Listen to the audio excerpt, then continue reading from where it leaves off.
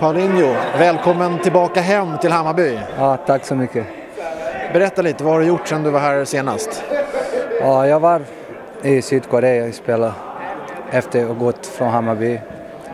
Jag var två, halv, två halvt år i Sydkorea och sen förra året jag var tillbaka till Sverige och spelade i Örebro. Och sen kom tillbaka till, till Sydkorea och nu vänder till Hammarby igen. Ja, du bröt kontraktet med, med sydkoreanska klubben så du blev helt fri att gå vart du ville helt enkelt. Precis. Eh, jag hade eh, en position med en klubb i Sydkorea att kom, kom överens om vad, vad, vad jag ska spela näst, i detta år. För att jag trivs inte, jag trivs inte bra där längre och jag har ingen glädje för att spela fotboll.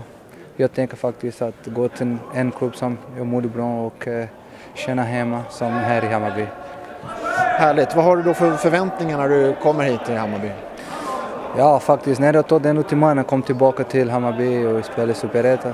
Jag tänker bara en sak att göra min bäst för att hjälpa lag gå till, tillbaka till Allsvenskan för att jag känner att, att en klubb som Hammarby kan inte spela i Superettan. Det finns fans som är underbart och alla som tycker om klubben och det finns många i Stockholm och Hammarby är stort i Stockholm och i Sverige. Det är ett lag kan inte spela i Superettan.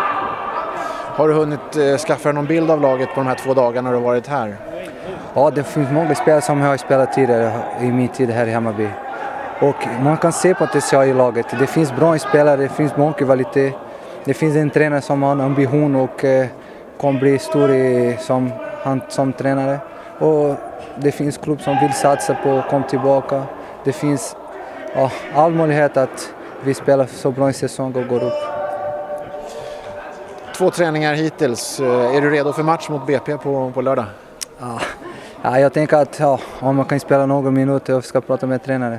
Men det är lång resa till Sydkorea, Brasilien, Brasilien, Sverige. Det, det är långt som man känner lite, lite cool i klubb. Men vi får se, kanske kan spela någon, några.